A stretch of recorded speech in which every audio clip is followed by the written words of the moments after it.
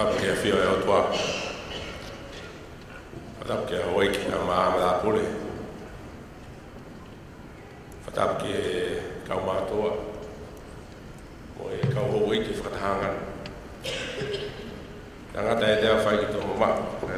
tea mua.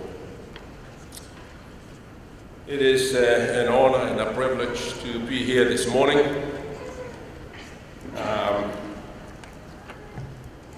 I didn't realize that this is a very big conference. I use, I'm, I'm not usually nervous when I speak to a forum like this, but I am now. And luckily my wife is not here.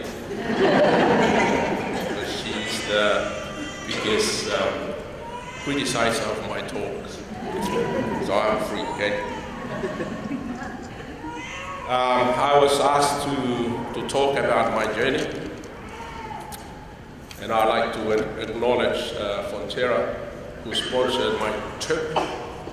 Fonterra sees what you are doing as something very important to our community, and they sponsored my trip as part of my work.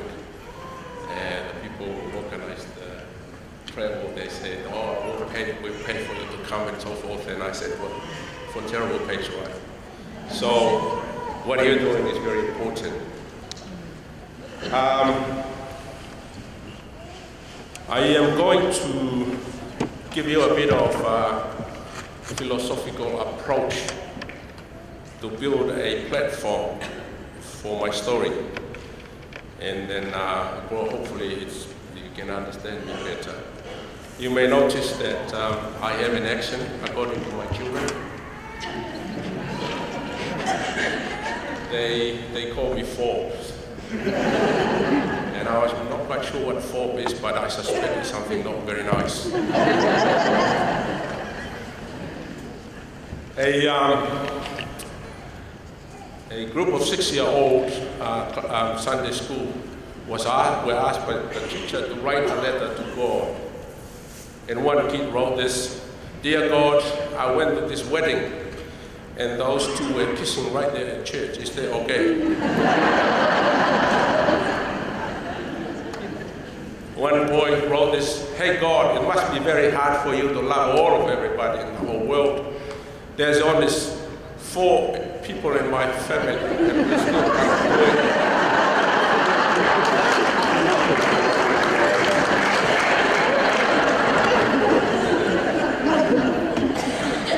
One boy wrote a letter to God and sent it in the mail. The postman picked up the letter and it addressed to Almighty God and he didn't know what to do with it, so he opened it. And it read something like this. Dear God, I am six years old and my parents are separated and I'm living with an uncle who is poor. Please give me $200 so I can buy books and clothes for school. And the man felt sorry for the boy, so he attached $20 note to the letter and passed it around the staff. And they collected some money, never got to $200, and whatever they got, they sent it to the boy. And a week later, the man picked up another letter, Almighty God. He said, oh, this must be thanking us for the money. So he opened the letter, and it read, Dear God, thank you for the money, but please next time don't send it through the mail. The, mail. the people in the post office.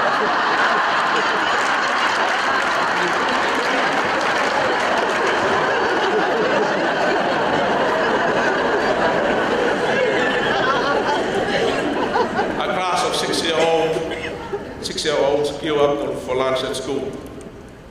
And they came across a large box of apples with a note on it. One apple only, remember, God is watching.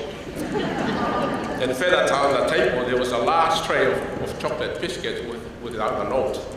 And the boy picked up a piece of paper quickly and wrote a note on it, saying, take as many as you like because God is watching the apples.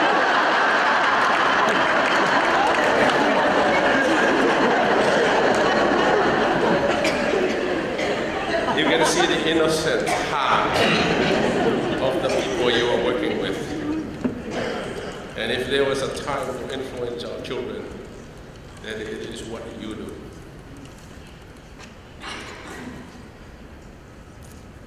Emily, I commend you for what you're doing.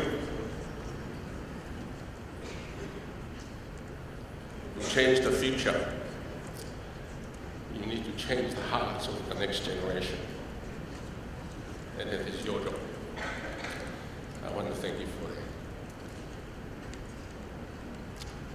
that. A uh, business manager was sitting in his office on the 24th floor of a tall tower in London, and he noticed that there are cracks on the wall, in the wall.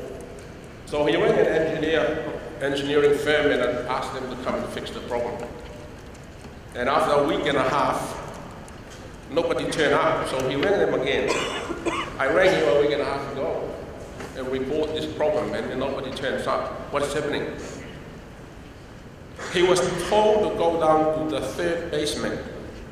There are people who have been working there since the day you rang. And he went down and found about 30 people working away with lots of tools, lots of steel, lot of equipment. And he went back to his, his office and thinking, there is something fundamentally wrong with the foundation of this building that caused the cracks on the 25th floor. And quite often we only see problems in the higher level. And quite often we don't really see the problems are actually in the foundation. And he thought to himself, that is a very interesting lesson to learn. Because quite often we try to patch up the cracks. Because if those engineers went to his office and patch up the, and cover up the cracks on the wall, that didn't, wouldn't solve the problem. The problem would still be there. And I think what you were doing is important because the problem is in the foundation. When it comes to the Pacific Island people, um, the government has done so well.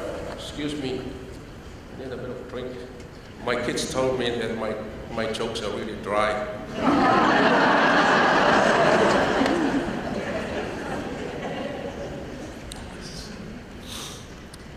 And quite often I see the government have a lot of records of statistics after statistics of how poor the Pacific Island people are doing in New Zealand. When it comes to education, when it comes to household income, when it comes to, to health, we are at the bottom of the heap. And they are very good in pointing out the cracks. But what's the solution? We need to go down to the foundation, and I ask the question to myself, what is the fundamental problems that cause all these cracks on the 24th floor? How, how are we going to solve the problems? And I ask the questions about my parenting role. Do we do it right? How about the family? Are the problems these people see coming from my family? From the way I do parenting? How about cultures? Do I display my culture in a way that is appropriate for the development of, of the next generation? How about Christianity? Do we hide underneath Christianity as a means of hiding away from the problem, shying away from the problems? And I ask a lot of questions about that and, and there's a lot of questions that I have, and I, I personally have a lot of arguments with anthropologists and sociologists who are actually Tongans in the Pacific. I am not uh, an anthropologist, but I do challenge them.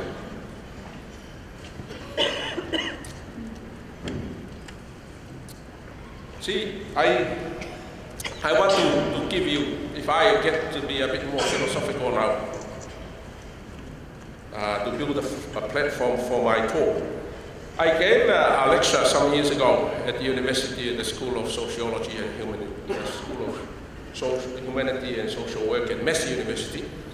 And I began the lecture by saying that the biggest need of a human being is one for dignity. Um, And dignity has got three components that need to be fulfilled. The first one, every person needs to have a strong sense of belonging. You need to belong to something. Every person needs to have a strong sense of worth. You need to know that you are important. And every person needs a strong sense of security. Whether you know it or not, if you are a parent, that is what you do. You unconsciously treat this little rascal to know that he or she belongs to you and everything in the house belongs to her. You spend all your time trying to teach her to know that on top of everything I do, you are top in my priority. Strong sense of worth. And you spend all your effort trying to teach this little rascal to understand that under my care, you are safe, you are secure. And everybody, all of you, everybody is born with that sense, that desire for dignity. So basically, teaching is more than just giving information. You think about the little kids that turn up before in your class. How does he or she feel? Teaching is building dignity in the hearts of the little rascals that come to your class. The second one is what I refer to as an apple seed principle. How many seeds are there in an apple? Who can tell us? Do we know? Ten? Twelve? Well, you may be interested to know that Christchurch down, the average seed is only about four. And from Christchurch up to around Wellington and Manawatu, it's five and a half. And from Manawatu up is seven. And then from Auckland upwards, it's close to 12. Isn't that interesting? It is interesting because I made it up.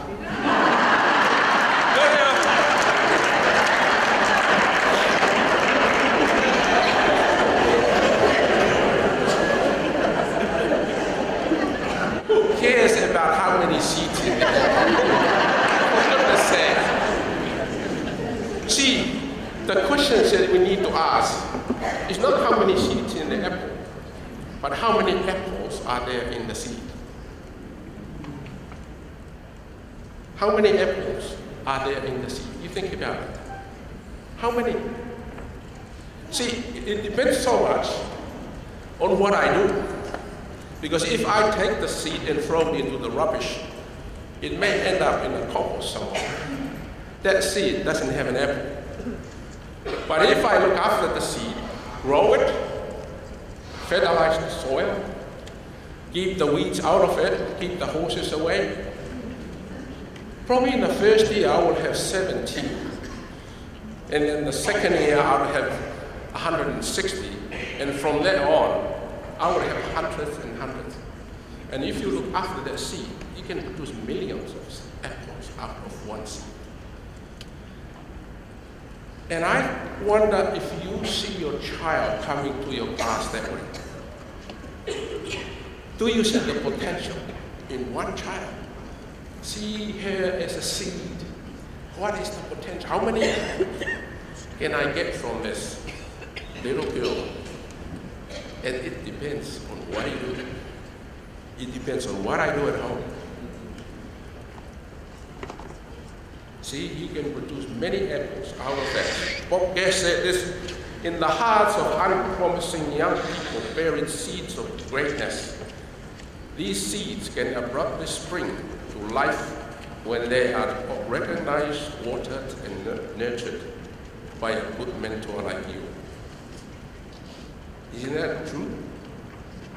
Proverbs say, train, uh, train up a child the way he should go. Even when he is old, he'll never depart from it. And that is pretty much philosophical. when you teach, see, teaching is building dignity in a child, and teaching is nurturing the natural potential in a child.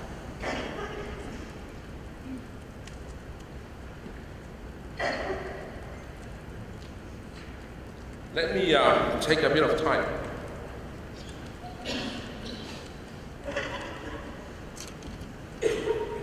How am I doing with time?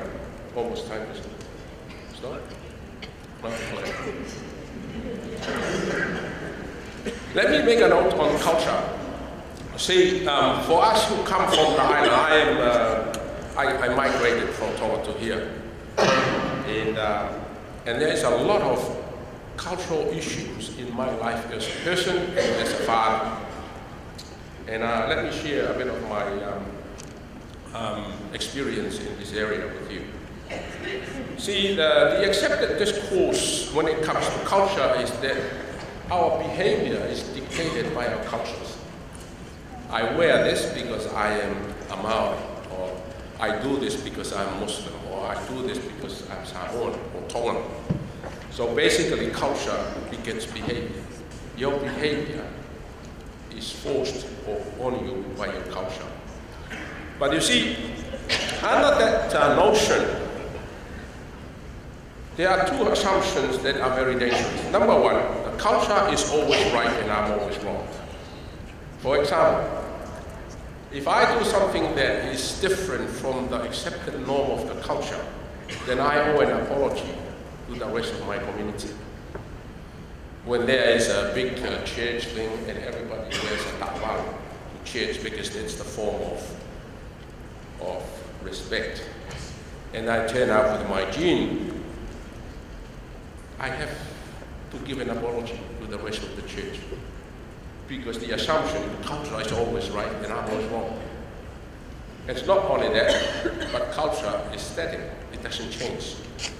That assumption, that means when I move from Tonga to New Zealand, the culture stays the same. And when I move from here to Dunedin, in the freezing cold, I have to wear a tupenu instead of a jean.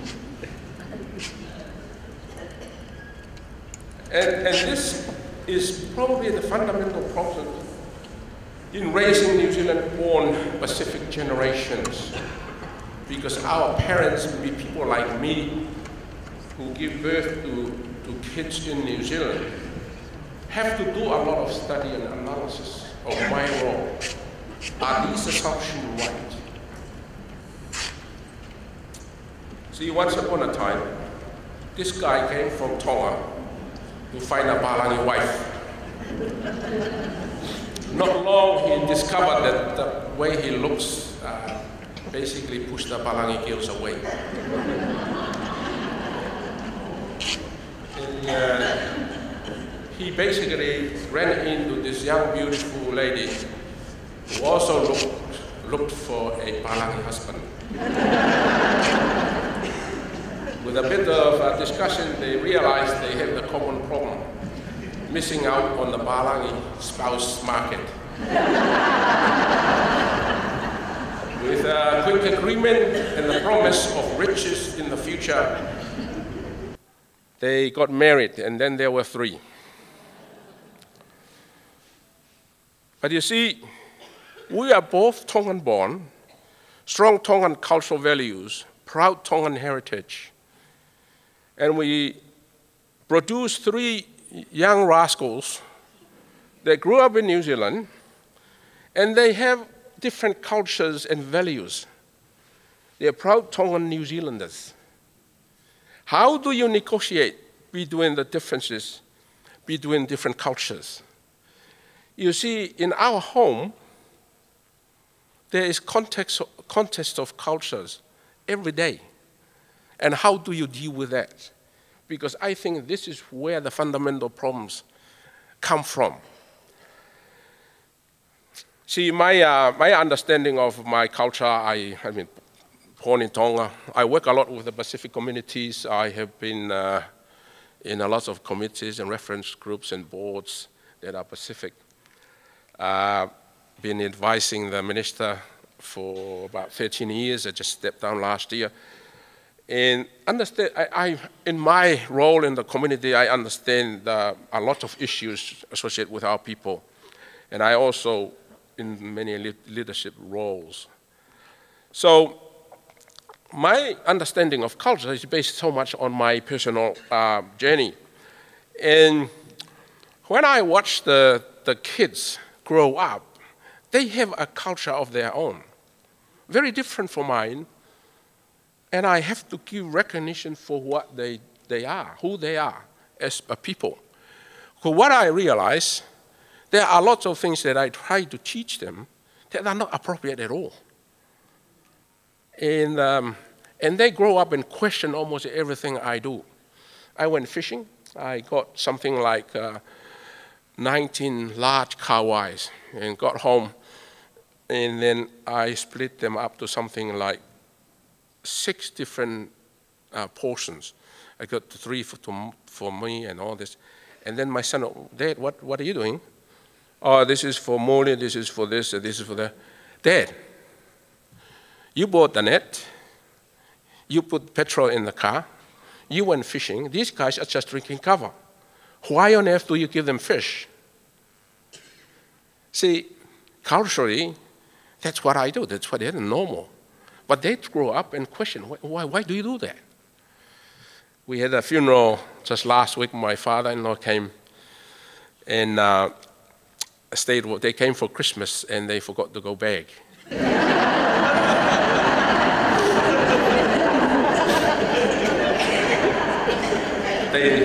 me to pieces. But uh, when they came, uh, we noticed that uh, my father-in-law was not well he started to talk and things seemed to, to he, seemed to forget things. And he passed away uh, on the 16th of last month, and the funeral was last week. But in the process, he was a, he was a great man in Wellington, a great leader. But in the process, I was in charge of um, looking after the people who came. And you know that those donations from people were more than $40,000. $40, people giving out money to help. And that's an awesome opportunity for me to, to show my kids, look, you always question my culture, and this is what happened. See, this money will pay for all our bills. but you see, it's quite interesting. But you see, let me give you some examples of how we deal with culture, culture context of cultures in my own household.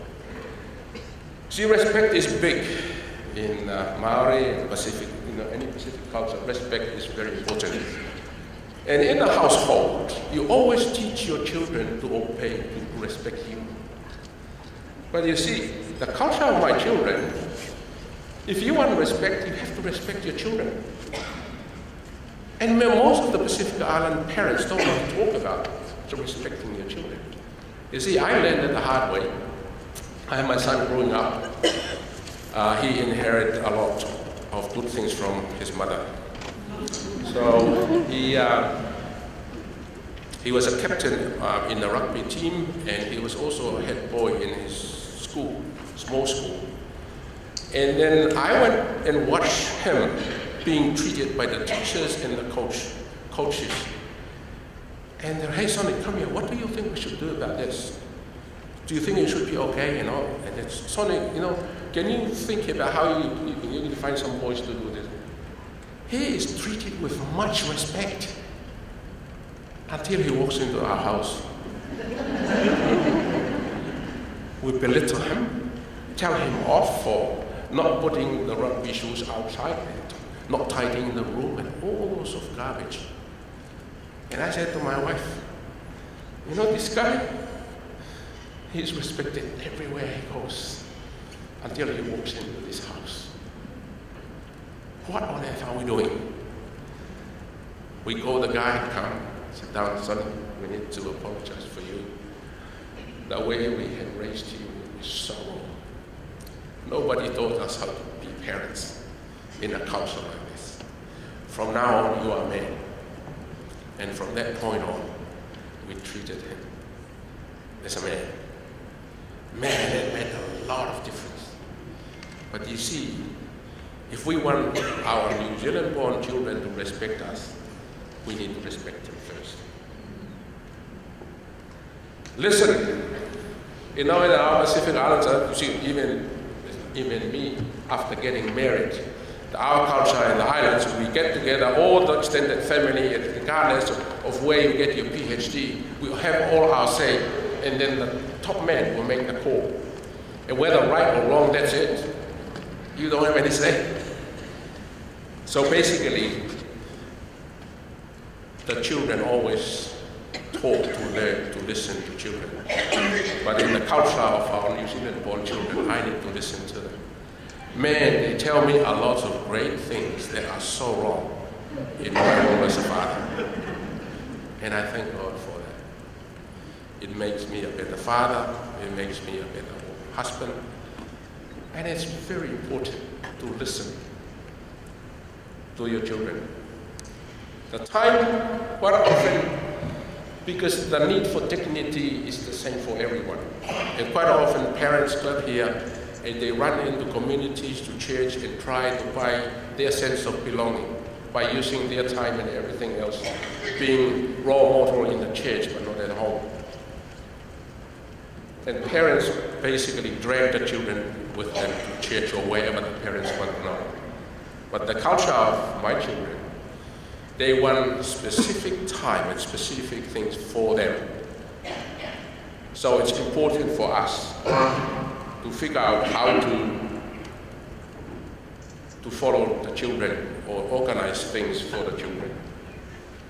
So dignity, time with the kids, you see, when we take them to the church, they kind of go like this. And when we take them fishing, they say, yes! it makes a lot of difference, right? And there's also emotional space. You see, the biggest problem with the Pacific Island kids are not really physical. They're not hungry. You don't find anybody that um, committing suicide because of hungry or cold or anything. Physically, everything is fine. Kids commit suicide because they don't have a good sense of dignity once they less lost a sense of belonging, a sense of value, suicide is an option. But you see, it's very important for us as parents to give the kids an emotional space to express themselves. I told a story of my youngest daughter. Um, she was nine, and I was uh, on Saturday afternoon. I'm normally the cook of the house, and my wife loves the idea. And um, on a Saturday afternoon, I was too lazy, and I said to my daughter, I'm going to buy takeaways. Do you want to come? And she hopped in.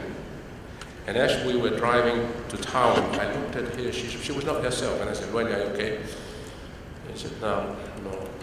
Said, What's up? Oh, Dad, you would understand. You know, of course I understand. What are you talking about? Oh, Dad, you wouldn't understand.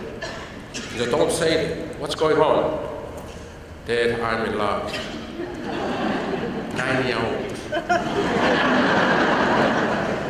I pick up then that she inherited, inherited a lot of evil from her mother. and I said, so do you want to talk to me about it? Oh, Dad, but you don't know the name of the guy. It's all right, because I know you. Just tell, talk to me. It turns out that she fell in love with the guy in the movie. She was just watch, watching a movie before we went to town, and she was taken away by love. And I said, oh, oh, it's all right. Your mother was like that. she fell with everyone in the movie until I turned up.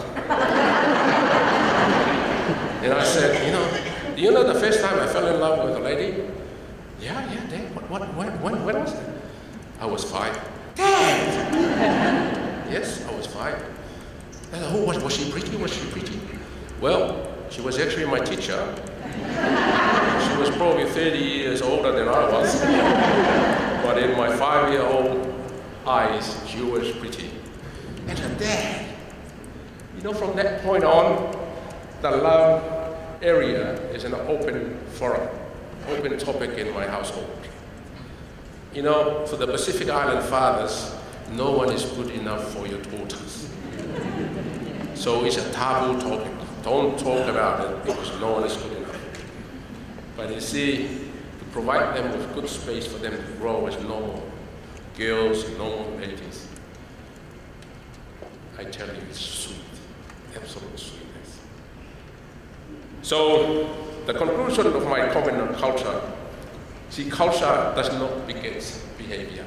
It's actually reality. When you get to a new situation, you begin a new thing and you start a new culture. So culture is dynamic. It's not static.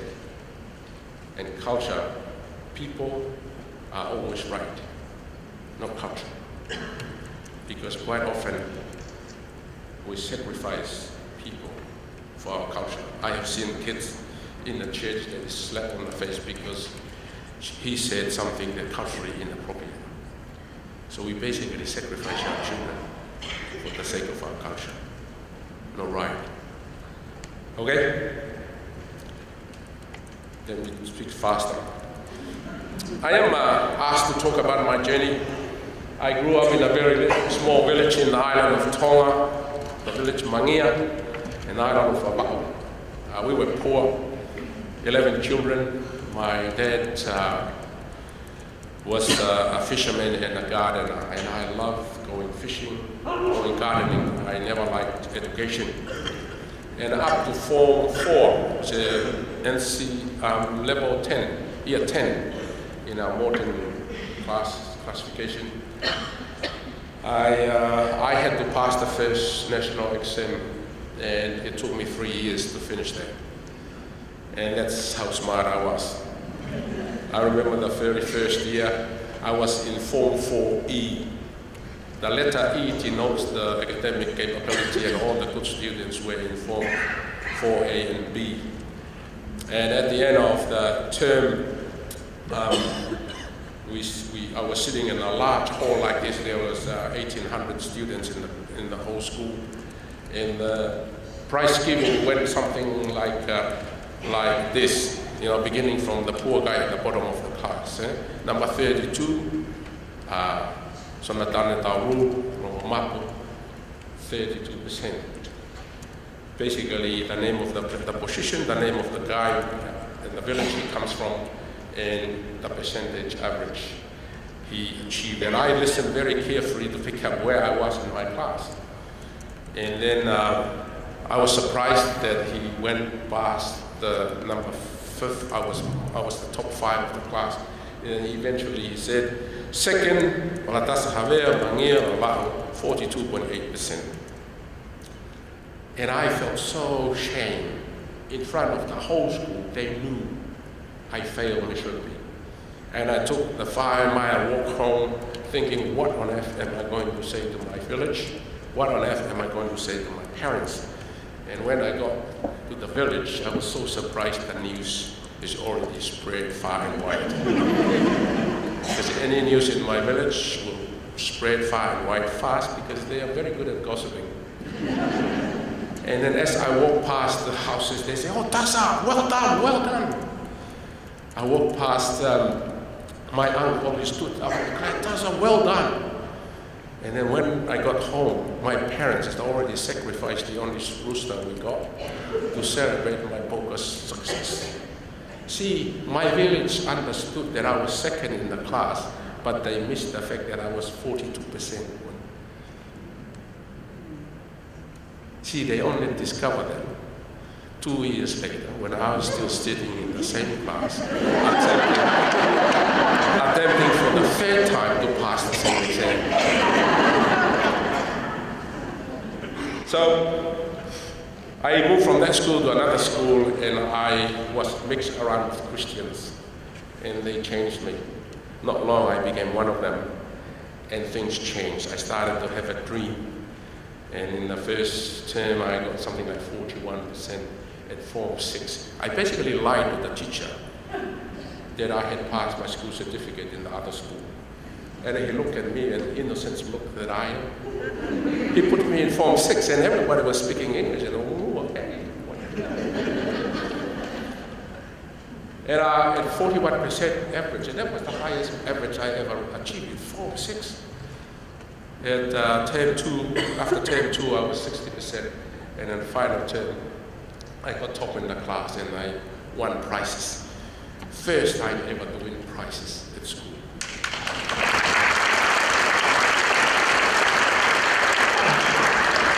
I worked four years, and then uh, for four years before coming back to university, I got a scholarship to come to university. And when I got there, uh, I forgot everything I learned. And I got picked up very quickly that this guy shouldn't be here.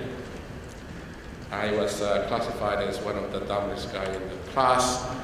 I remember doing a, a computer uh, lab. You know, those times when the computer was new, there was a big computer, and it could only do the spreadsheet and stuff.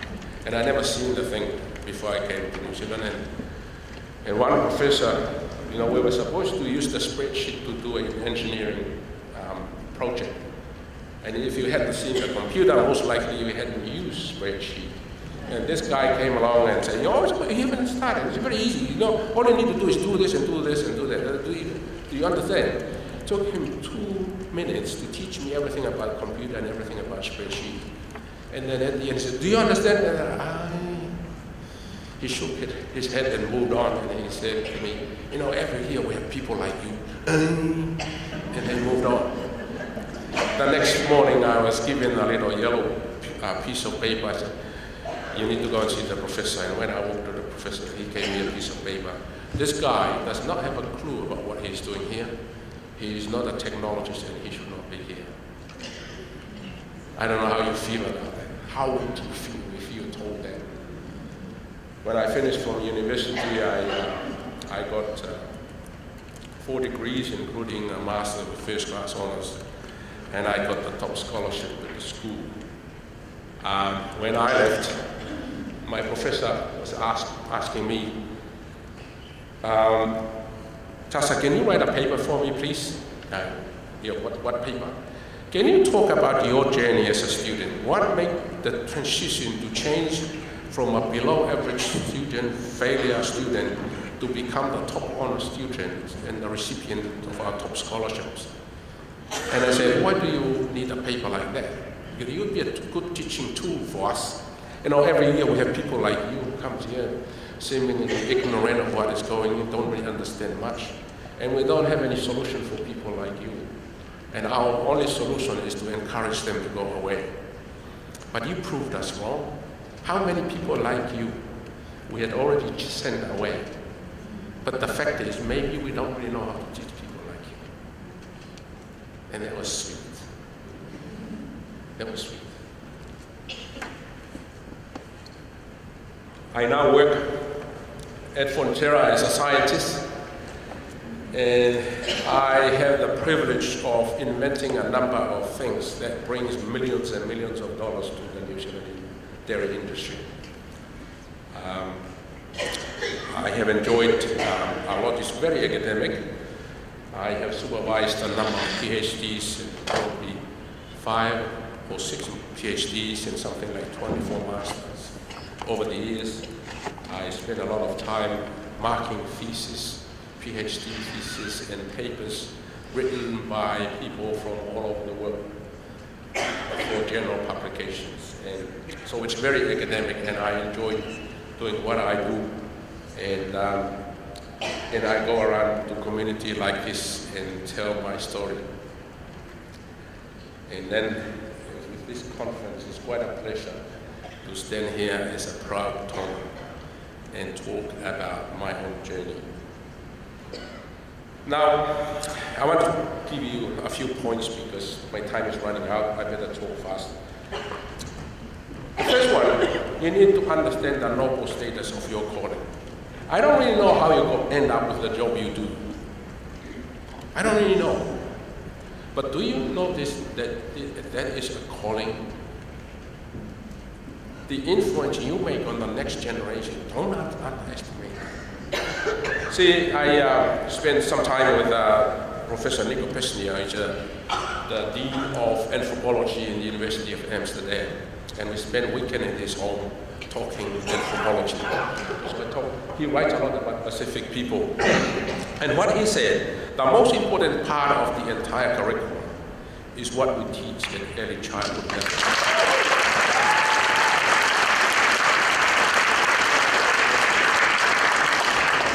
I am not saying this just to make you feel good, but realistically, realistically, if there is a job that is highly underpaid in all the countries, including New Zealand, then it is your job. Because you build the foundation for our kids in the future. And I want you to challenge you to see your job as the most important job. It's the most important in the lives of the little rascal that is sitting before you. See them as apple seed. What can come out of this little child, and your job is to unlock them. Teach them to know how to say yes and how to say no. It's very, very important to understand because our next generation don't really know when to say yes and when to say no. And it's so vital that we build that at the early foundations. The, the story in the Bible of Daniel, he was uh, sent with the whole of the people to Babylon, to the exile. And the king of Babylon was so smart, he took out all the smart kids from Israel and tried to change their mentality by teaching them their language and their culture and their philosophy. So they will become the people of the future leaders of the, of the country. And then Daniel was one of them. You know, they gave them drinks to drink that, you know, fit for the king. And Daniel decided in his heart that he's not going to defile himself with the liquor that is given by the king and all the food. He learned how to say no. Um, some time ago, I was uh, checking up, checking out in a, in a hotel in Paris. I arrived there on Thursday. I was due to talk on Wednesday. Uh, on Thursday, I was due to talk on Tuesday the next, mo- uh, the next week. But the reason I went there fast because I hadn't prepared my talk. And the audience are all professors from everywhere kind of in the world. And I need to be good, see. So I got there. And when I check into the hotel, the two guys sitting standing there, they look at me. Number one, he is black. Number two, he dressed like a, a guy from the street because I had t-shirt and jean. And they look at each other and said, oh, you don't have any booking for you. And I, well, of course I have bookings. Because the conference is held in that hotel. And they said, you know, uh, we, we have a hotel there, we send you there. And they rang a taxi, I got into the taxi and went to this room. And I quickly turned up, put my computer and start work. And in front of me is a notice. The notice is that the room is about 2,000 something dollar a night. And I thought, oh my goodness, I'm not going to pay that. And anyway, I went to bed. And then all of a sudden there's a knock in the room. And then the knock, it's only one knock, and then the room was open. This young, beautiful lady had the key to my room. And as she opened it, she spoke to me in French about, you know, and held a little something in, his hand, in her hand. And then I said, I don't speak French, French, speak in English. And said, chocolate, chocolate, you want to eat chocolate? She hardly wore any clothes. but she was asking if I would be eating chocolate. And, and then I went in the morning and complained, and I said, no, then he locked, closed the room. She closed the room and knocked on the next door. And then I went in the, in the morning and complained, why, why did this lady get a key to my room? And they told me that it's part of the service. You pay that much, it comes with everything else. And I was thinking about my Torrent colleagues especially the preachers. Would they have the capability to say no? It's a good lesson to teach our kids from young age to know when to say no. It's very important, right? Secondly, dream out of a dignified heart. You see, my dad made a dream out of me. See, I grew up in the poverty. He talked to me a lot. We went fishing. We went, you know, I liked following my dad and I learned everything from him. He was an awesome, awesome dad. He could hardly write his name. That's how much uh, education he said. But he said to me, you know, in the future, this, this country will be full of smart people. And you need to be one of them. He basically dreamed, this is what we do every day, you know, hot sun, curing copra, working in the hot sun all day. If you want something bigger than that, you have to go to school. This is in the midst of me failing everything. You know, and, I, and that set on me because reality is he in, instilled dignity into my own life. And even though I failed, I was a good boy because I wanted to please my dad in he was not very healthy towards the end. From, from 13 years old, I was the man of the house. I did the gardening, I did everything. And he was a proud man. But he instilled in me a strong sense of worth, a strong sense of belonging, a strong sense of security. And I grew with that. So basically, he made me have dreams of myself and believe my own dreams. And that's what you need to do. You do that. See, and I think you need to understand the background which kids come. If Pacific Island kids come to your home, understand what I'm talking about. They may come from a home that the father don't even understand dignity as we, as we know, as we talk about. So maybe he or she is taught to be quiet. But in the school, you are encouraged to talk. Your mark depends on how well you contribute to the discussion. Because talking back is disrespectful in, uh, in my culture. But in school, you need to talk. So understand where they come from and help them to build, to, to see their potential. Help them to see that there can be many, many apples coming out of this seed. Help them to do that. And focus on building dignity, empower them. See, be the difference in the kids' lives. See, in my whole entire journey, I can pick up a few people that made a lot of difference. My dad, I spoke about, he's a teacher, Bill. You know, when I failed, you know, when I ran away from the other school to the good school, Bill was a science teacher and he taught me that I'm good. He said, that's very good. You see, sometimes ago, I, um, yeah, and there's Professor L at the university, she thought, you know, because when I talk to her, I make sense. When she reads my writing, it doesn't make sense. And she suspected that there is a slight possibility I might have a brain. And she, she decided to work on that. And basically, she taught me how to write essays. I had to write a different paper, writing, writing, writing. And she pushed me, pushed me to get to A's. When I got to A's, I never got anything less than an A. And that's people that makes a difference in my own life. Excuse me.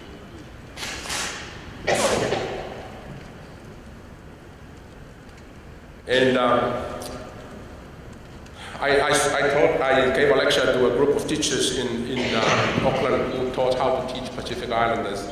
And one of the points I said, they're going the extra mile. And the extra mile is basically sitting down and saying to, to, to, to the child, how did you go on the last test? That's all. Because Pacific Islanders, they learn, they think with their minds, but learn with their hearts. They don't care to know unless they know you care. You know, it touched their heart. It's very easy for them to learn. And for me, all of a sudden I realized the teachers are on me. I have before, otherwise in trouble. So build relationship because the Pacific Islanders are more emotional than many other ethnic groups. Basically, you need to try and feel how they feel. Don't give up. Growth is probably deeper than you think. See, we go through obstacles. Life is full of obstacles, and my journey is so full of obstacles. When I uh, finished my master's, uh, I got told that my thesis is sent away for remarking because the head of school did not believe that I was that good because the mark was too good. I got the mark of A minus, and the head of school said, this guy is not that good. So he sent it to two other people, and one of them is the toughest marker that I know. He's a guy with a professor with beard, white beard, and all this. They both came back. One came back with an A with A plus, and one with an A, bigger than the first. So it's really good. But you see, you need to to overcome those and move on, overcome the, the obstacle and move on. You know that because our, our your, your job can be really discouraging. See, you taught for this long, you don't really see change in the eyes of the children and all that. But let me remind you of the, of the Chinese bamboos. You know the Chinese bamboos, they grow it this year and then weed it, nothing happened. And then to do it the same following year, they water it and out and all this, nothing happened. Third year, the same. Fourth year, they start to grow. But when they grow, they grow everywhere. We grew it in here, but they grow up everywhere. What happened, there's a lot of growth, but it's happened underground. You don't really see it. But when it happens, it will happen everywhere. So may I encourage you in your job. You may not see what has changed in the lives of the young people you work with, but I tell you, the growth is probably far more deeper than you know. And that is important. Finally, this is my last slide. You know, I would be lying if I don't tell you that the secrets of everything that I do is Jesus Christ. You know, when uh, Neil Armstrong was coming back from the, capturing the moon, the moon, he was invited to speak in one of the um, universities in the U.S. And there were thousands of people gathered to listen to this hero who had got to this biggest achievement in the world the world has known. And as the people were quiet, he stood up and said, teachers and fellow students, the biggest event in history is not that man walked on the moon. The biggest event in history was when God himself walked on earth through Jesus Christ. Is that in my little life, I have seen a number of great things happening to me. I have uh, got my degrees. I have got a number of awards. I have uh, invented a number of patents. But the greatest event in my little life was none of this. The greatest event is when Jesus Christ came and took the wheel.